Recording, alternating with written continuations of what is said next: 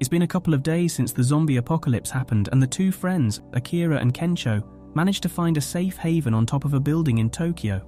Akira is playing Left 4 Dead 2, and Kencho is doing some cooking mama level cooking. This is part of Akira's bucket list, and he checks off camping from his list. Kencho finishes cooking, and Akira praises his friend for his excellent skills in the kitchen. Akira doesn't think he has any redeeming qualities. He doesn't have Gordon Ramsay level cooking, nor does he have infinite Riz, unlike Kencho. Kencho calls him an idiot for not being able to get a date, and tells him that a man needs to know how to cook. Akira is insulted and swears he is definitely going to get a date today, but they look down, and there are not many options for him. Most of the single women are undead cannibals. Later that morning, Kencho reads Akira's bucket list.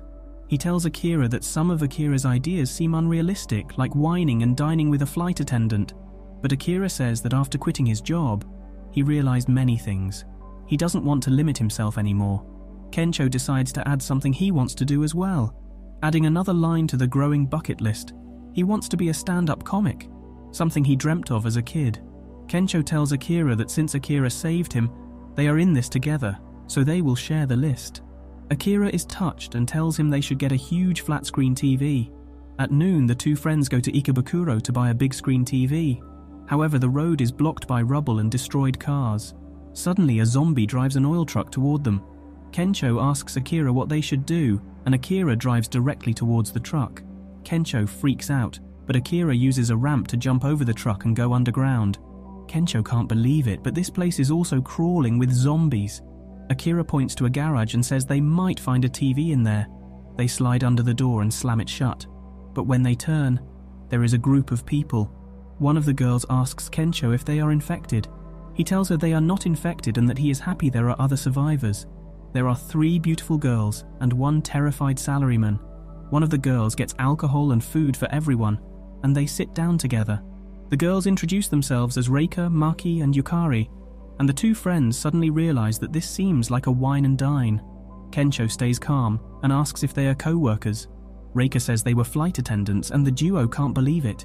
They're definitely wining and dining airline attendants and can check this off their bucket list. The zombies make a lot of noise and the girls are terrified. But Akira is worried about how to wine and dine. Mr. Public Nudity manages to bag Maki rather easily, but Akira blows it and asks Yukari if she has a boyfriend. A pretty bad question in the middle of the apocalypse. Yukari isn't happy about this, so Akira decides they should have some fun. He grabs a bottle of tequila and snorts the entire thing. The group joins in and has some fun, but the effect suddenly hit Akira and he vomits inside the cubicle. Yukari comes to help him and Akira is touched. She tells him that she has a boyfriend, but Akira is happy because she was genuinely worried for him. After getting sober, Yukari talks with Akira about her life as a flight attendant. She's in her third year in her career and she relates to Akira's hardships. Yukari says she doesn't know if it's worth it to continue working for something that doesn't feel like a dream job. It seems she forgot it's the zombie apocalypse. After hearing her story, Akira tells Yukari about his experience in his company. He tells her his job was just like a borrowed dream. He wasn't sure if it was his dream job at all. Akira tells Yukari that if it's her dream job, she doesn't need to think too much about what other people think. Yukari is touched. But before she can speak, the salaryman from earlier lunges toward her, biting and infecting her. Akira punches the zombie, but it's too late. She tells Akira that it's okay and explains that he reminded her why she loves her job.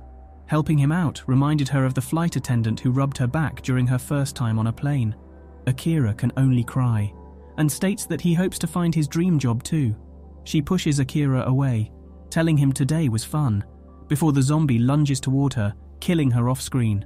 Akira hurries back to meet up with his friend, but both Maki and Reika have turned into zombies. The boys have no choice but to bail with the 8K ultra wide UHD TV Kencho found. With two items checked off their list, Akira and Kencho drive back to their campsite.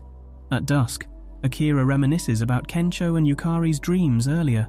He writes down another thing he wants to do before he becomes a zombie to remember his childhood dream. And that brings us to the end of this episode of Zom 100. If you want to find out what happens next, make sure to like this video, subscribe to Panorama Anime, and comment for the next episode.